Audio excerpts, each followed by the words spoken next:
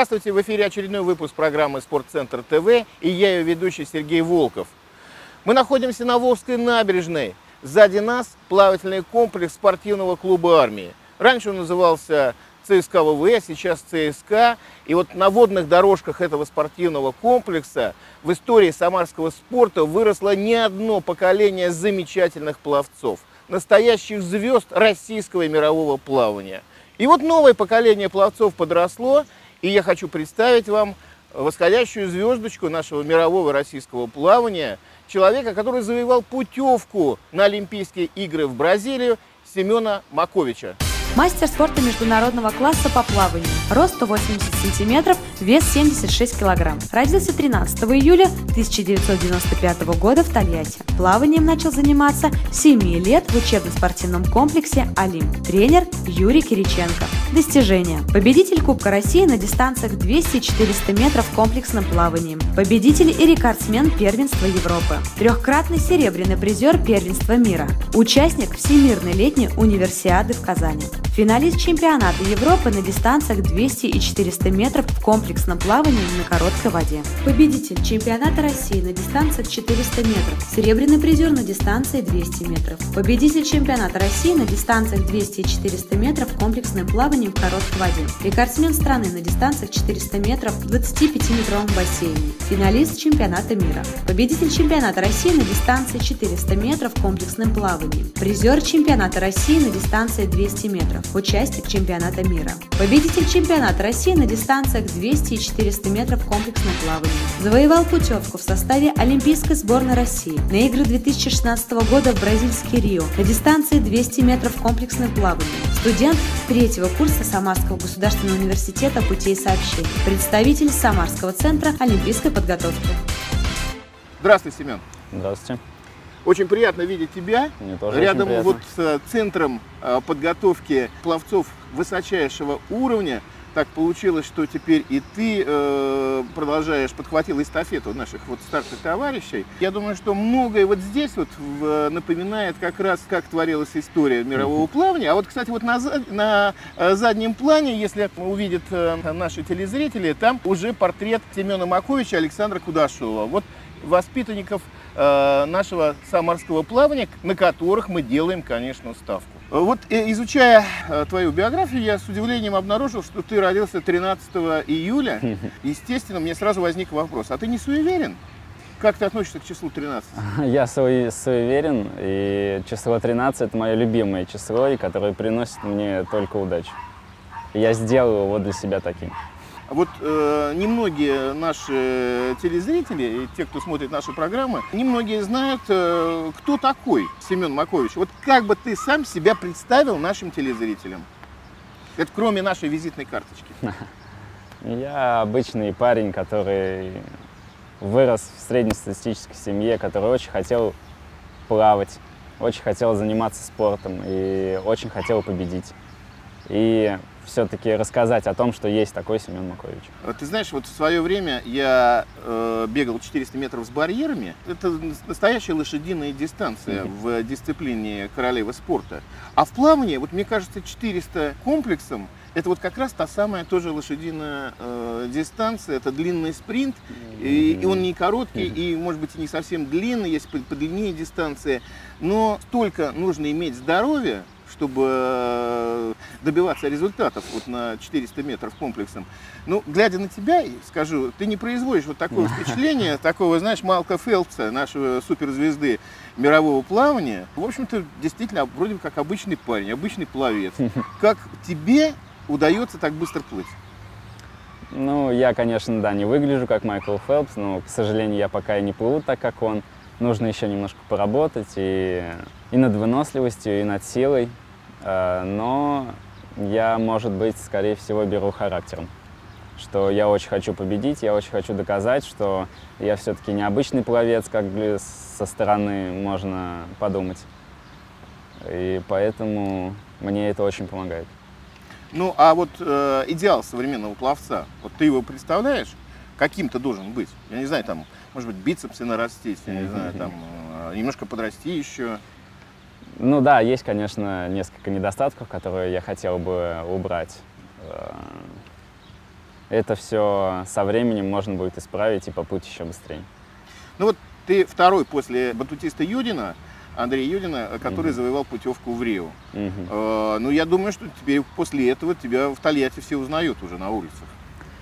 Ну, знаете, в Тольятти очень немногие меня знают э, и не часто берут интервью и как-то не показывают по телевизору, в общем-то, поэтому в Самаре даже меня знают больше, чем в Тольятти. Но я думаю, что сейчас ты делаешь все, чтобы, так сказать, э, слава к тебе пришла. Мировая известность. Ну, я стараюсь, да, пытаюсь выигрывать, чтобы меня заметили и в Тольятти. Кто-то есть для тебя, я не знаю, кумир или э, спортсмен, пловец, э, на которого ты стараешься, э, стараешься подчеркнуть, взять лучшие как бы черты этого человека? Ну, знаете, никогда не было таких прям кумиров, чтобы прям висели постеры чьи-то. Вот знаете, кумиры, наверное, есть только автомобили у меня. Очень люблю автомобили. Это, ты знаешь, для нас не секрет, потому что в Тольятти, Да, жители Тольятти, да, они да, да. все любят автомобили. У нас там трассы раллийные и гонки очень часто проводят. Но таких, чтобы людей, у меня нету, но от каждого человека можно взять что-то хорошее. И я стараюсь это заметить и перенять к себе. Продолжая вот автомобильную тему, я думаю, что если ты не стал, наверное, пловцом, ты стал бы автогонщиком, да, я так понимаю? Все мальчишки грезят Тольятти э, погоняться на автодроме. Да, думаю, да. Иногда даже по выходным ездю на трек и гоняю. Отлично. Дрожь в коленках э, присутствует. Вот тебе скоро ехать в, Ри- на- в Рио, плыть с величайшими звездами мирового плавания. Среди них будет 18-кратный олимпийский чемпион Малк Фелпс, американец. Испытываешь ты чувство э, как бы своей второсортности перед такими великими спортсменами? Или ты э, готов с ними сразиться и доказать, что ты не хуже этих ребят? Знаете, я очень давно уже с ними соревнуюсь, на многих соревнованиях уже с ними был. И знаете, дрожи в коленках вообще не присутствует, потому что э, я уже плавал с ними и выигрывал их иногда. Даже у Фелпса? Э, ну, не у Фелпса, конечно, но у более слабых его также соперниках, которые специализируются на моих дистанциях. Э, В некоторое время, так скажем, не на основных соревнованиях, я у них уже выигрывал на всяких простартовках, на этапах Кубка мира. И поэтому я с ними уже со всеми знаком. Мы иногда разговариваем, поэтому я нисколько не нервничаю и не чувствую своей второсортности и готов бороться за первый сорт. А какую задачу ты поставишь себе вот э, там в Рио? Ну, это для меня первая Олимпиада, и вся эта атмосфера олимпийская, я думаю, мне даст еще больше сил, настроения хорошего. И для меня минимальной задачей будет попасть в финал на Олимпийских играх на 200 и на 400 метров комплексно. Ну, вот э, многие говорят, существует такое мнение, что Се- Семен Макович он такой везунчик. На чемпионате мира, э, отбирался на чемпионат мира в Казани, не выполнил норматив, э, значит, попал, был участником. Теперь э, не выполнил олимпийский норматив, попал. Вот как ты можешь объяснить, что ты оппонента можешь сказать по этому поводу? Нет, ну, на Олимпийские игры я норматив выполнил, но, к сожалению, я выполнил мировой норматив, но не наш российский. А на чемпионате мира я тоже выполнил норматив, но он был юношеский, так как я еще был более юного возраста, и для меня сделали, для нас всех сделали небольшую поблажку, э, чтобы мы тоже могли использовать этот шанс и поехать, так сказать, для опыта. То есть тренеры взяли тебя на перспективу. Будем откровенны. Да, взяли на перспективу. Авансом. Некоторым авансом, да? Ну, некоторым авансом. Потому да. что бороться за медали, понятно, что тебе тяжеловато, потому что сейчас идет процесс адаптации, Да. переходный Переход, такой да. э, Возра- м, возраст Да. и пора такая.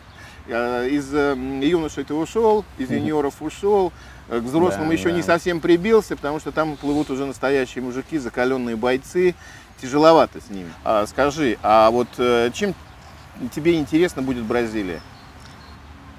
Бразилия, конечно, славится карнавалами, а, славится статуей. То есть ты приехал из трапа самолета бегом на карнавал, надо посмотреть, потом, Ну, потом будем отбираться в финал олимпийский. Нет, конечно, в первую очередь у меня на уме это плавание, правильно подвести себя к старту, А вот уже после старта уже можно немножко и морально отдохнуть. Среди э, твоих будущих соперников в Бразилии, э, тех, кто поплывет с тобой, э, будет отбираться вот в этот олимпийский финал, есть люди, которые непревзойденные просто, то есть фавориты стопроцентные, те, до которых еще тебе плыть и плыть. Ты знаешь этих э, ребят? Ну вот раньше это был Майкл Фелпс, да, вот, ну, на многих дистанциях был недосягаем, и все-таки в Лондоне его, на его коронной дистанции, так скажем, его все-таки обогнали. Поэтому недосягаемых людей нету, и это только зависит все от меня, как я буду тренироваться и готовиться к Олимпиаде. В легкой атлетике был такой барьерист 400 метров с барьерами, mm-hmm. Джон Акибуа, известный такой, он 50 стартов, э, у него рекорд такой, по-моему, 49, он выиграл так в легкую. И вдруг 18-кратный чемпион Майк Фелпс уступает там каким-то э, малознакомым э, пловцам. Э, как ты думаешь, он сильно прибавит к Олимпиаде? Он, с ним действительно можно будет побороться? И как обогнать человека, у, которой, у которого, если я не ошибаюсь, на 50-й, по-моему, размер стопы? У него как... Ну да, ласта. Да, ступня как ласта.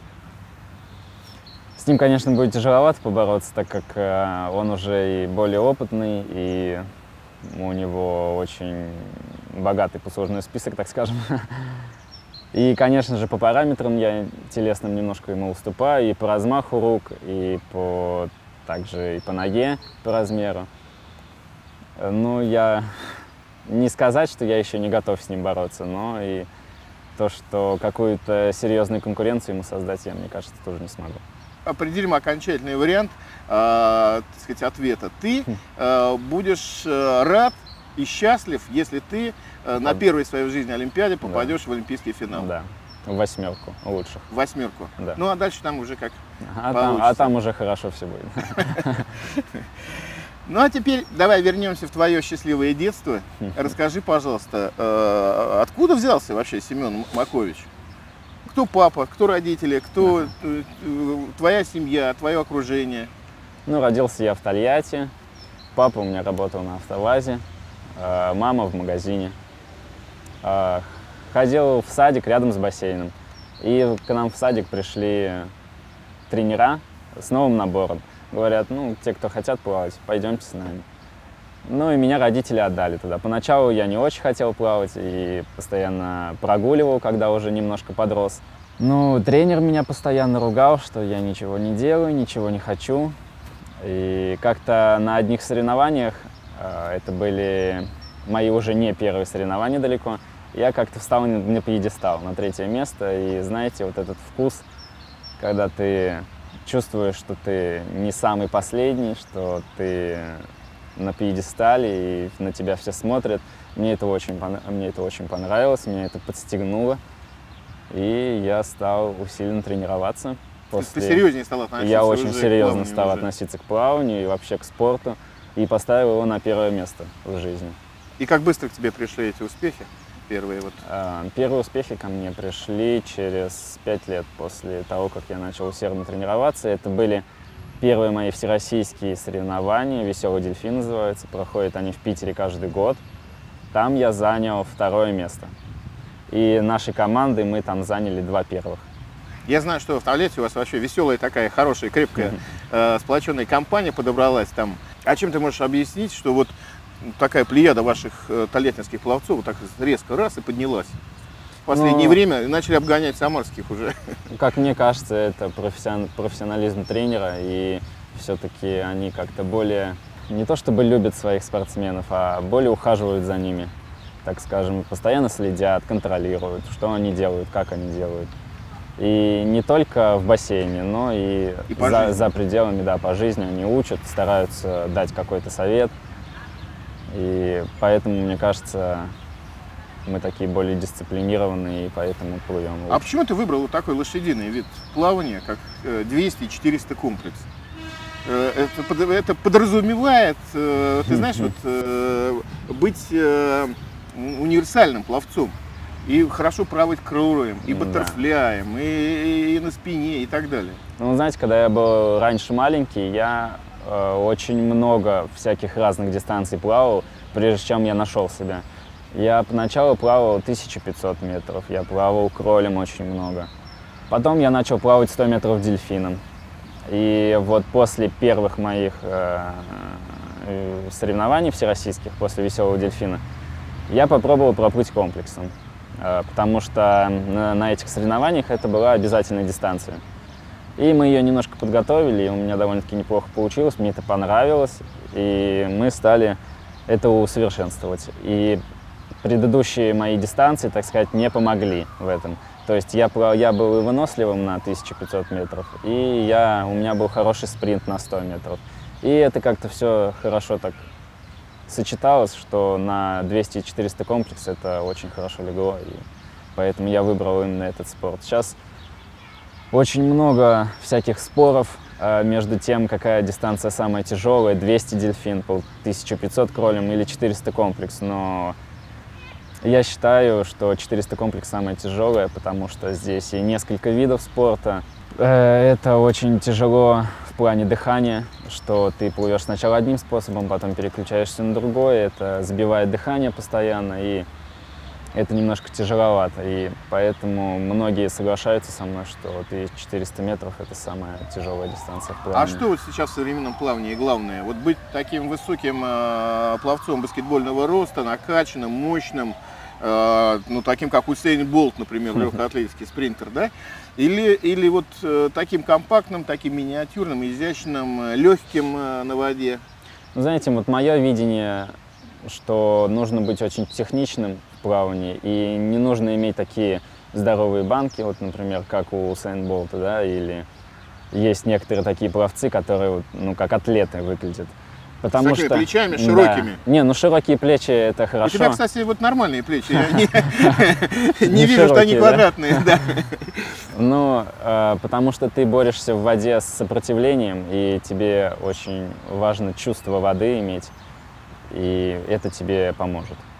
Ты скажи, э, вот твоя самая любимая как бы вид, это кроль, э, спина, что? Баттерфляй, что? У меня самый любимый это дельфин. Баттерфляй – это первые 100 метров, и на спине – это вторые 100 То есть метров. порхаешь как бабочка, да. летишь над водой, да. и это дает тебе уже какое-то определенное преимущество. Да, потому что я могу легко начать и не устать при этом. И дальше уже у меня будет больше сил, нежели моих соперников, которые, так сказать, не любят дельфин, и им он тяжело дается, потому что это самый силовой вид спорта.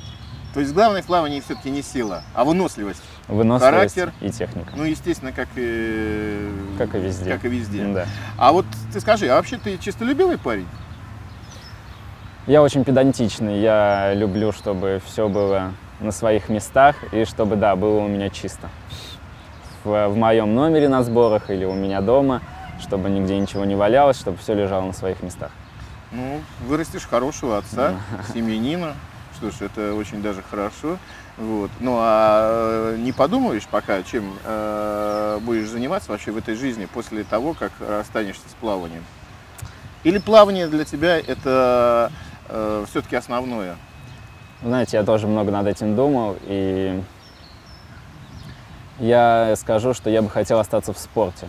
Я не говорю именно о плавании, да, плавание для меня в данный момент это многое, и Уходить я пока не хочу, и также я пока не хочу заводить семью. Но что я хочу идти дальше по жизни со спортом, это, это точно. А что в жизни, вот кроме плавания, что тебя еще интересует? А... Вот Макович может себя проявить, например, строительстве железнодорожных мостов. Вот, например, ты станешь вторым э, Крыжановским, который строил мосты, в том числе и Сызранский тебе известный мост. Да. Нет, с мостами я пока не очень дружу, и эта учеба мне тяжеловато дается. Много для меня непонятного, и я думаю, что свою жизнь я бы со строительством мостов бы не связал. То есть все равно придется получать второе образование, как ни крути. Как да? ни крути, да. Ну, если еще время еще передумать и вообще все исправить, особенно после Рио. Да, согласен, в жизни бывают всякие разные повороты. Поэтому всякое может быть. Может быть, я и буду строить железную дорогу все-таки. А вот свою жизнь ты все-таки связываешь э, с родным городом, с Тольятти, с Автоградом, с Самарой, в конце концов. Я думаю, что у нас так принято вообще.